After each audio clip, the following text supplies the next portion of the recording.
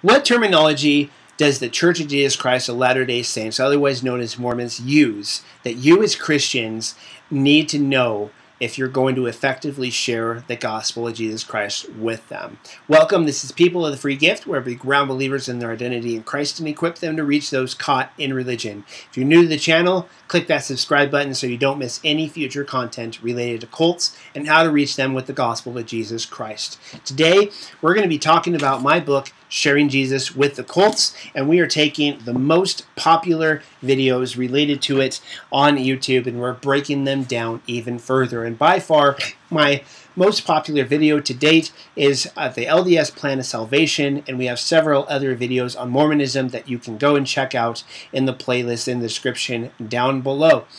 And uh, so today we're going to be talking about terminology specific to the LDS Church. The problem that a lot of Christians encounter when they talk to somebody of the Church of Jesus Christ of Latter day Saints is that they have a conversation with them and ask them very basic questions that they would ask just about anybody about finding out whether or not they believe in the gospel that we do.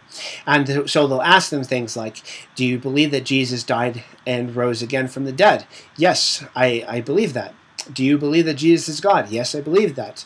Uh, do you believe that in salvation by grace through faith? Yes, I believe that. And they would say, "Oh, I don't. I guess we believe the same thing."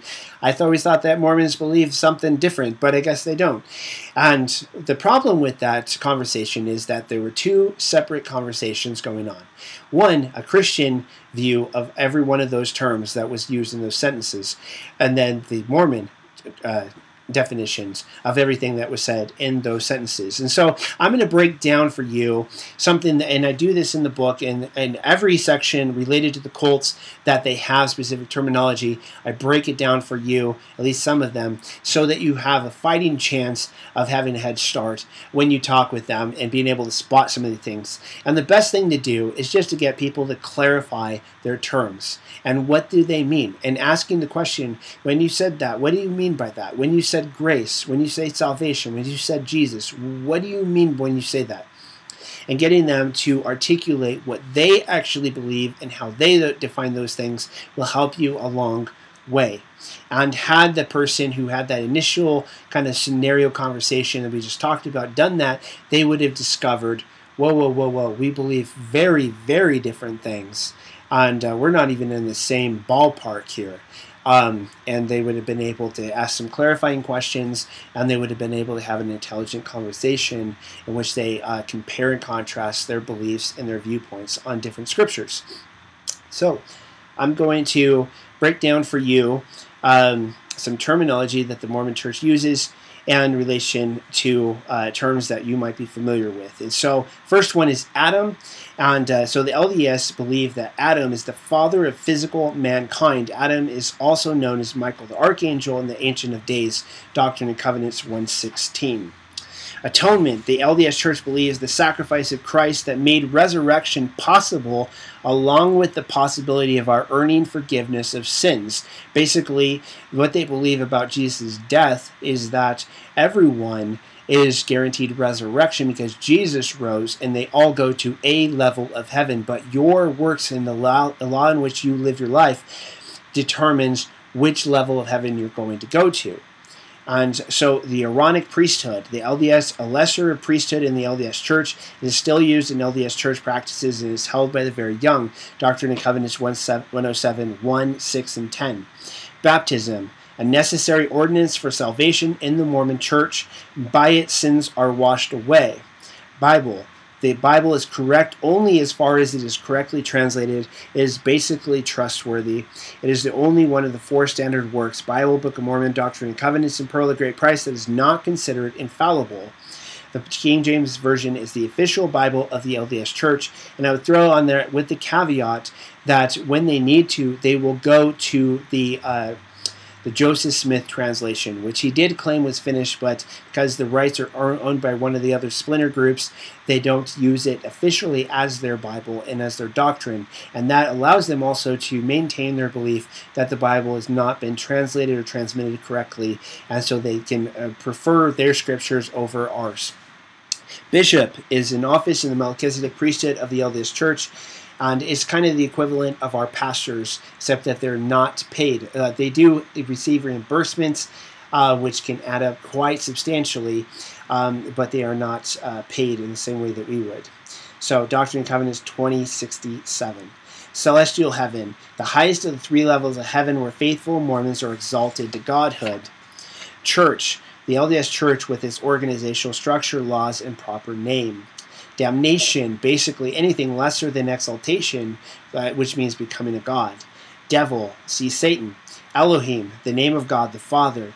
Eternal life, exaltation. Exaltation to Mormon means obtaining godhood in the celestial kingdom.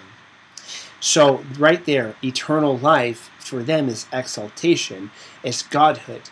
So, there's a difference between being saved and being having eternal life. A great question to ask them is do you know that you have eternal life? Because 1 John 5:13 says John says, "I wrote these things to you so that you may know that you have eternal life." When a Mormon shares their testimony in church, uh, they share, "I know that the Book of Mormon is true. I know that Joseph Smith is a true prophet of God." Um, all these I know are related to the church and their scriptures and their belief system, but they never share, I know that I have eternal life. And yet that's a biblical thing that God wants us to know. So, exaltation, the state of becoming a God in the celestial kingdom, fall of mankind, a blessing. Mosiah 3 11 through 16, a necessary step in the progression of humanity to the level of godhood.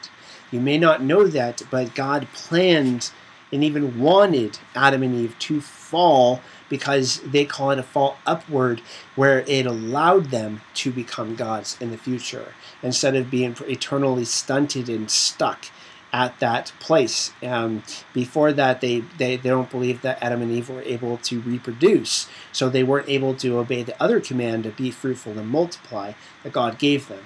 And so, God, one of countless gods in existence, an exalted man from another world who created the earth, whose name is Elohim, he became a god by following the laws and ordinances of his God on the other world.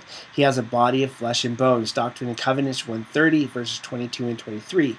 Godhead an office held by three separate gods the Father, who is a God, Jesus, who is a God, Holy Spirit, who is a God. Gospel, the laws and ordinances of the Mormon Church. Heaven, divided into three kingdoms celestial, terrestrial, and telestial. The celestial is for perfect Mormons, the terrestrial is for moral people and lukewarm LDS, and the celestial kingdom is for everyone else. Hell, the temporary abode in the spirit world between death and resurrection for those awaiting celestial glory. Doctrine and Covenants 76, 84, and 85, and verse 106. Hell will come to an end. Holy Ghost, a spirit man. He can only be at one place at one time. Mormon Doctrine by Bruce McConkie, page 359. The Holy Ghost is contrasted with the Spirit of God, which is the influence of the Godhead that fills the immensity of space, which enables God to know what is going on. It is likened to electricity. Doctrine and Covenants 130, 22, and 23. Holy Spirit, the presence of God is distinguished from the Holy Ghost, who is a God in the Mormon Trinity. Jehovah, the name of Jesus in the Old Testament. Jesus, literal offspring of God the Father, spirit brother Satan, a God in the Godhead. He is Jehovah of the Old Testament compared to Elohim, being the Father. He was the first spirit child to be born to the Father and Mother of gods, ordained as the Christ in the pre existing Grand Council before coming to earth. Kingdom of God, celestial kingdom, the kingdom of God on earth is the LDS Church marriage, an eternal bonding of husband and wife that continues into the afterlife. These couples will continue to have children. Doctrine and Covenants 132, 15 through 20. Melchizedek priesthood, a greater priesthood in the LDS Church held by elders. Doctrine and Covenants 107. We existed in heaven with God, our literal father and mother, before we became human. Salvation, twofold meaning simple bodily resurrection of all people, or the forgiveness of sins. One was accomplished by Jesus' death on the cross, the other is achieved by your works and good deeds. Satan, the opposer of God, literal Son of God, brother of Jesus and all people begotten in the pre existent spirit world. Scripture, Bible, Book of Mormon, Doctrine and Covenants, Pearl of Great Price. Temple, a present day temple used to practice the ordinances and ceremonies of the gospel of the LDS Church on behalf of the living as well as the dead. Trinity, three gods a God called the Father, a God called the Son, a God called the Holy Ghost. So you can see right there they have a misunderstanding of what we believe when we talk about the Trinity. And we have several videos that relate to that as well. And so if you have an insight or a question, uh, related to this topic or anything related to cults and sharing the gospel with them, please share that in the uh, comments down below. I'll be choosing some of those for next week's Q&A. And if you haven't already, go ahead and subscribe to the channel. Give us a thumbs up on this content if you like the content for today, and share this video with others who are interested in cults and how to share the gospel with them effectively. And so I talked about an announcement, and it pertains to our study through the Bible material on this channel. And uh, uh, as of this moment, I have taken all of, or I, all of the content that pre-existed is staying on the channel, but I've moved it also onto another channel called Study Through the Bible. So all future content related to the Bible is going to be on that channel, and all co content related to the cults and how to share the gospel with them will be on this channel and that will allow the two specific groups of people who subscribe to this channel to be unique and specific and so if you like both content then go over there subscribe to that channel if you just like the cult content then you're going to get more of what you love on this channel and if you want the link uh, to get over there to subscribe then I'm going to have it in the description, in the cards, and the end screens on this video. And so until next time, may God's grace be with you.